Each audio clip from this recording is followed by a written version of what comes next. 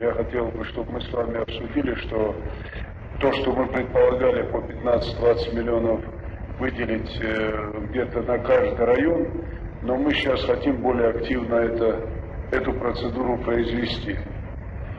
Вот, Тазет Ильич, в части того, что мы, э, вот если такой подход будет, сейчас они нам представят э, в том числе э, расчеты представят по каждому району, в срезе э, того, что мы договаривались, или же через привлечение кредитных средств с тем, что мы их погасим, да, или мы им позволяем, или помогаем в данном случае, но чтобы лето мы не потеряли, практически могли бы сейчас эти работы провести. Вот по районам. Нет, ну и вот эту часть я хотел бы точно получить, чтобы это были не разговоры, а на самом деле реально, видите, что в Нальчике идут изменения, происходят, работы проходят. Я хочу, чтобы, как и в каждом муниципальном районе, на районной центре, села, в сельских поселениях, чтобы четкий план был представлен тех мероприятий, которые будут проводиться э, в этом, ну, помесячно до конца года. Я вот прохладно собираюсь, я поеду, наверное, посмотрим, или завтра я к вам приеду, мы в обычном режиме поездим, посмотрим спокойно, поработаем.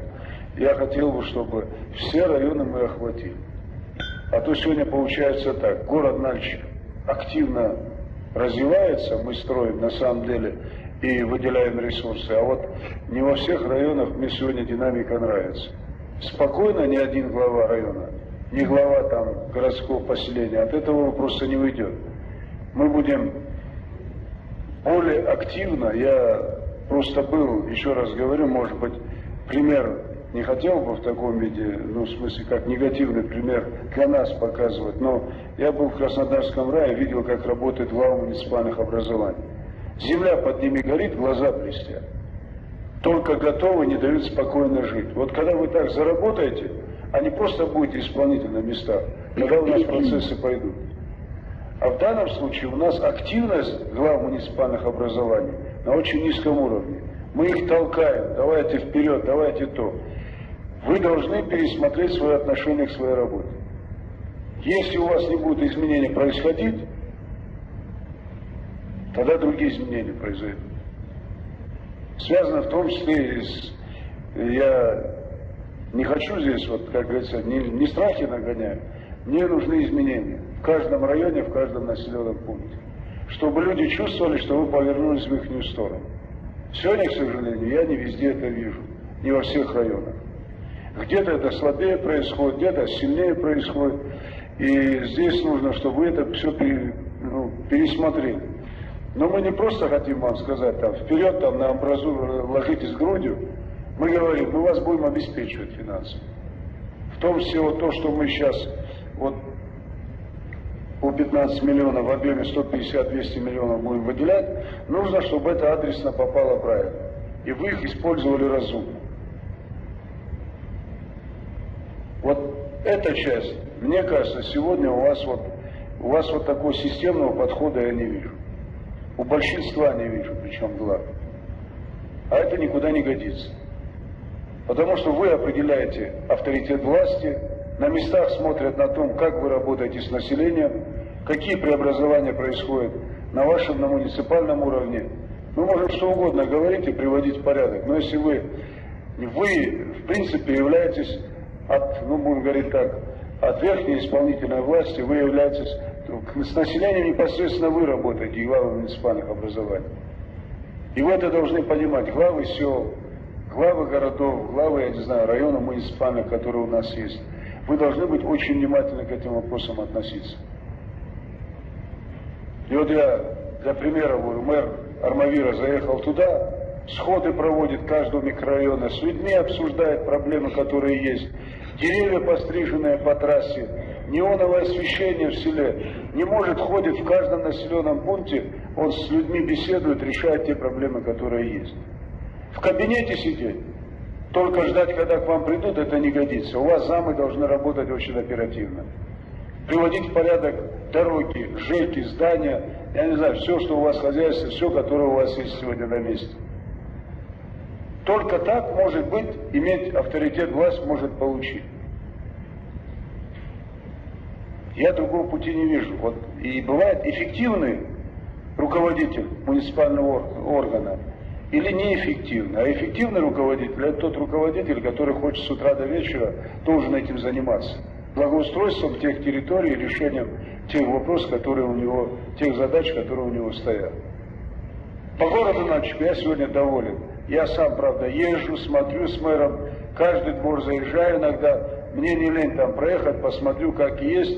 Я сегодня считаю, что на четверку город Нальчик сегодня работает.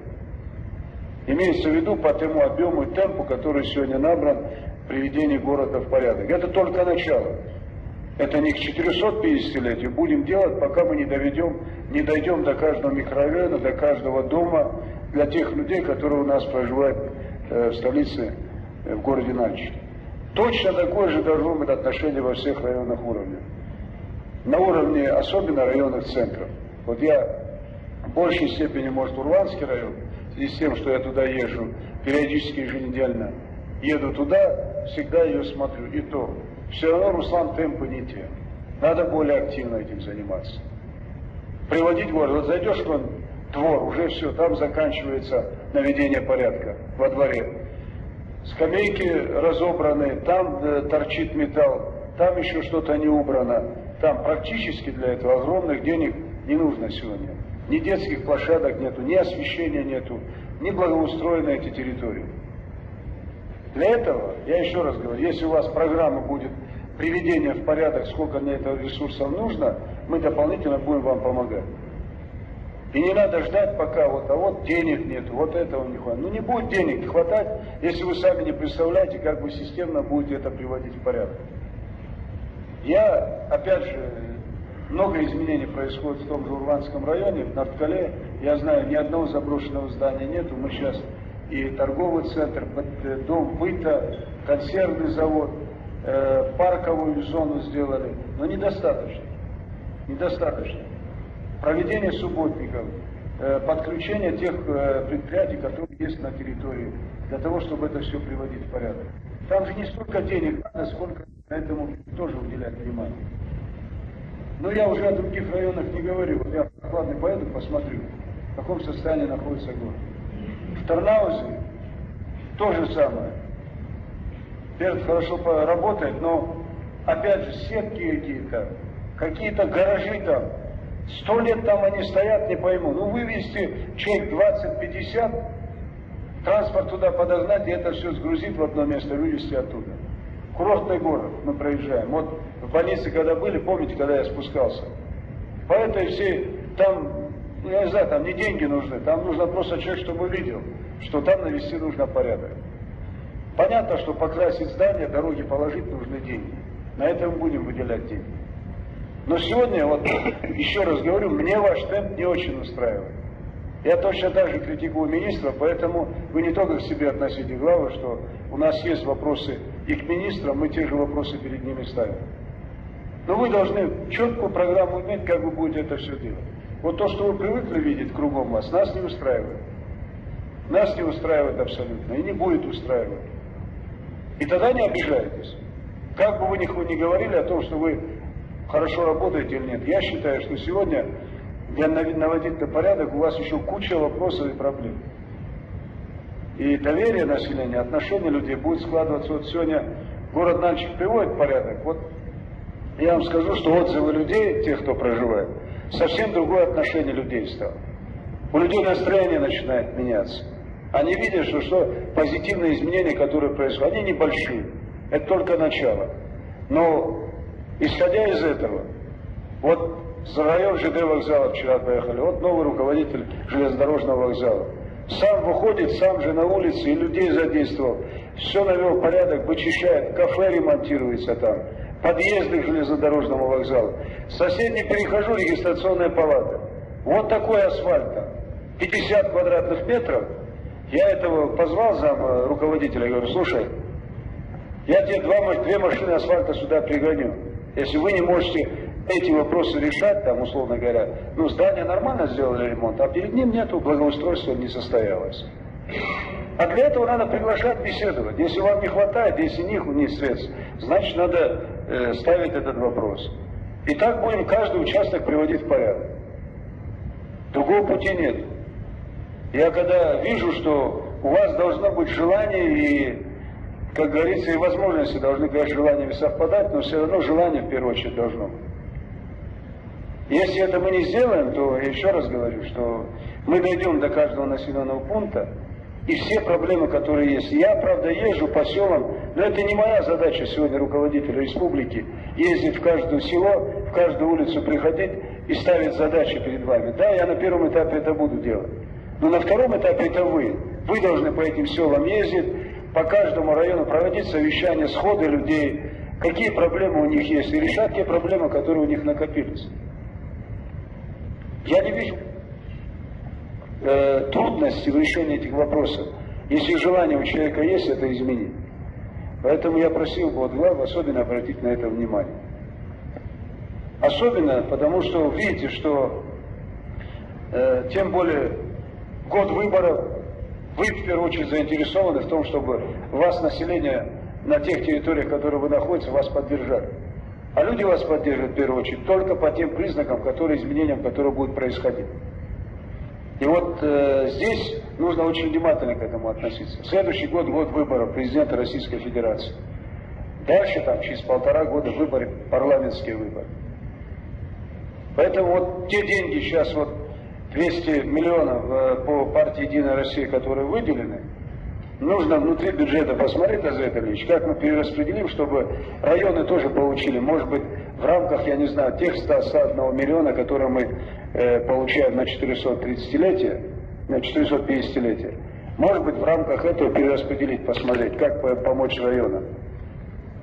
Если нет, давайте возьмем там в кредит, пусть 200 миллионов, не, проблема большая, выделим деньги, и пусть они везде у себя в населенном пунктах приведут это в порядок. Можем мы под это взять кредит? Под это? Можем. Значит, мы принципе, вот сейчас, чтобы не дожидаясь по 15 миллионов, по миллионам не нарезать, если они подготовят там, в принципе, вот особенно по дорожному покрытию, по этой проблеме, давайте в летнее время это все приведем в порядок. Я к каждому главе поеду, посмотрю, что вы там сделали. Но делайте так, не просто отписаться или сделать так, освоить лишь бы эти деньги. Вы должны разумно их освоить. И люди, чтобы увидели, что вы на самом деле это адресно попадает в точку. Вместо того, чтобы вы меня должны уговаривать и говорить, тормошить нас и исполнительную власть, мы вас пока заставляем это делать. Я вот позицию надо чуть-чуть поменять. Я вот говорю, в Краснодарском крае я увидел этих глав, но я по-хорошему позавидовал. Люди просто горят и чувствуются подтянутые, готовые к любому решению, к любой задаче. А мы начинаем вот резиновая ситуация. Ну, не во всех случаях. Опять же говорю, надо подтянуться. Думать, что мы уже все сделали, все есть, этого нет. У нас достаточно неблагоустроенных, нерешенных задач во всех муниципальных образованиях очень много на сегодняшний день. И те подвижки, которые сегодня есть, они должны быть э, динамично и очень ускоряться должны. Вот пока только начало и раскачка идет. Я вот в этой части хотел бы, чтобы вы более оперативно этим занимались. Но это вот первое. Второе, вот то, что по партии «Единая Россия». Вот то, что сегодня, э, то, что вы выделили, ресурсы, которые выделяются. И нечего скромничать. Вы, э, партия «Единая Россия» под эгидой выделены 200 с чем-то миллионов, тогда э, с учетом того, что мы тут говорили о том, что более больше пропаганды и агитации. Больше пропаганды и агитации. Сейчас будет очень много партий появляться, раскачивать там флагами, обещать много морковки, а когда все закончится, ничего не дадут. И мы создаем информационно-аналитическое управление, будет создано, и жесточайшим образом будем пропаганду и агитацию проводить. Против этого митинга будем проводить три митинга по тем изменениям, которые у нас происходят. И нам нечего бояться или там позволять каким-то э, образованиям здесь э, 5% республики не должны накачивать всю республику негативно. И те издания, которые в эту сторону работают, будем смотреть. И те сайты, которые созданы, в Москве они находятся все. Кто за этими стоит сайтами, кто их финансирует в данном случае. Просто не хочется этим заниматься. Честно говоря, проблем в республике без этого много было. Но мы найдем противодействие, вплоть до разрушения этих сайтов через хакеров. Мы знаем, как действует отношение этих людей. Но не надо нас тоже испытывать. Вот я сказал Махти Османовичу, Рахаев так себя повел, ни одной копейки без инги. Пока он там руководителем является. Снимут его, село снимет, мы поможем этому безинги селу. Другого подхода не будет. А то во власти еще с нами будет бороться, из власти будет с нами бороться. Деятель вышел из партии «Единая Россия». Ну пусть выходит. Я это говорю к тому, что у нас не хватает пропаганды агитации. И мы этим займемся, создадим это управление, чтобы им не показалось, что так легко в республике можно нас раскачивать. И также во всех районах. Вы должны не бояться и не стесняться. Чего вы боитесь, опасаетесь их? А причем ни один человек из глав не выступит против. Соберитесь туда на площадь и придите, когда кто-то собирается. Балканский, кабардинский, русский меня не интересует. По таким, под какой личиной они выходят на улицу. Они начинают говорить о том, что одно, другое, третье. Но абсолютная неправда идет. Нагнетание истерии какой-то непонятной. И никто не встанет. И никто ни слова не скажет. А чего боится, я не могу понять. Все, кажется, ждут, но может само по себе пройдет там, или там э, президент, или председатель правительства, не знаю, кто этим будет заниматься. Я к чему говорю? Будет жесточайшее отношение. Ни к кому пощады не будет. Я просто так не позволю этим людям так себя вести в Кабардино-Балкарии. И вам, предупреждаю вас тоже. Не будете вы с этим наводить порядок, тогда не обижайтесь на меня. И члены правительства тоже так же, министры. Никто выжидательную позицию никому не дадит. Если в данном случае, чем больше мы изменений проводим в республике, тем больше желание будет раскачать. Не совсем многим нравится то, что сегодня происходит у нас. Поэтому э, вот такое состояние, знаете как вот, как чего не вышло, человек футляр и Чичиков. Чичиков здесь не пройдет в республике. Будем мочить всех, где попадутся, я вас уверяю. И никому не будет другого отношения. Пусть жалуется Верховный суд, в Европейский суд жалуются. Они и так уже научились куда только не жалуются. Но и вы должны также относиться к этому. Не сидеть там сложа руки показывать, какие вы у вас слабые. Собрали там 150-300 человек, пишут полторы-две тысячи собрались на площади. Наводится порядок, они говорят, перекопали из-за нас. До сто лет они нам не нужны. И никто их не поддерживает. В большинстве своем.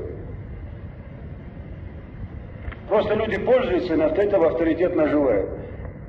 Через митинги, через вот раскачивание республики ни одному человеку путь не дам. Ни во власть, ни к деньгам и не приближу ни к чему. Если люди заботятся о республике, о мире, о том, чтобы республика активно развивалась, это не тот путь, по которому они нас хотят повести. им сегодня спокойствие в Кабардино-Балкарии абсолютно не нужно большинству из тех, кто туда выходит. Им надо постоянно в раскачанном состоянии держать, а тем образом будут вылазить другие, которые не хотят, чтобы сегодня было спокойно у нас в республике. Я просил бы на это обратить внимание и занимать более активную позицию. Если кто-то сомневается, думает, а, подождем, мы и там с теми побудем, и с другими в хороших отношениях побудем, это не пройдет.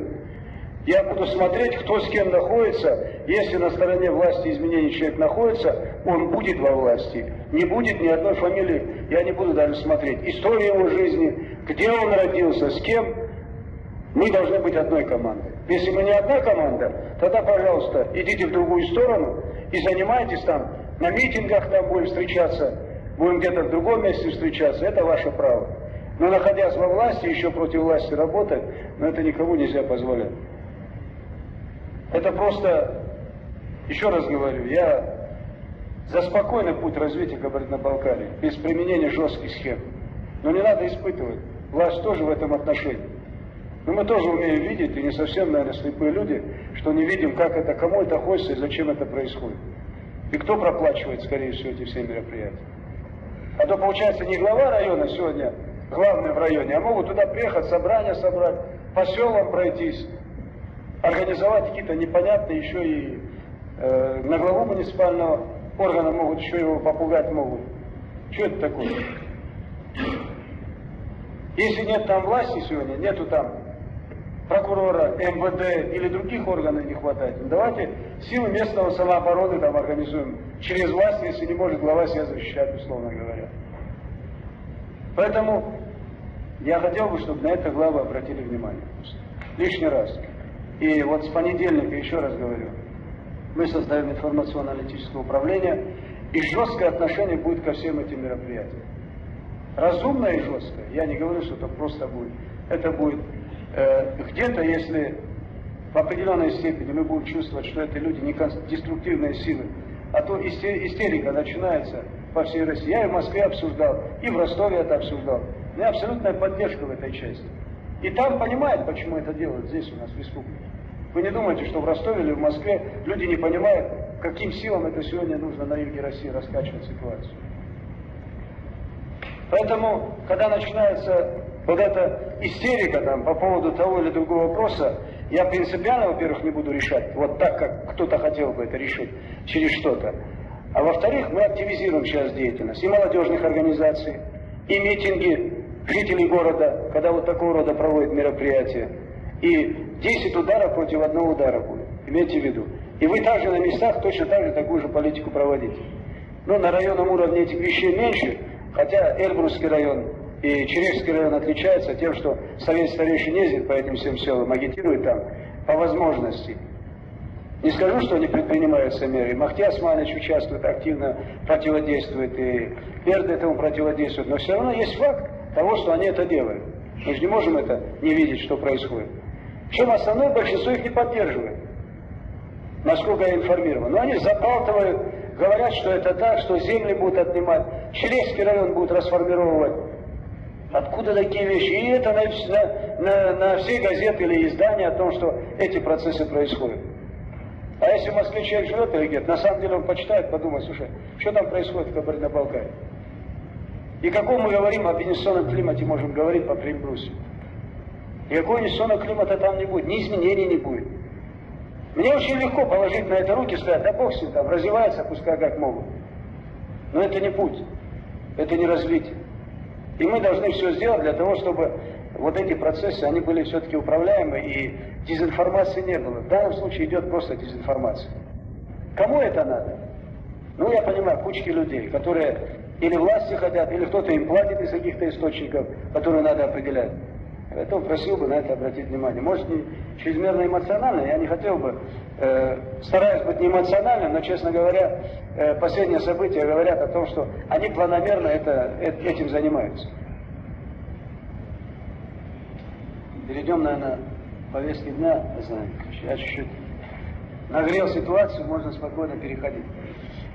Хорошо, я тогда просил бы о чем? Тогда...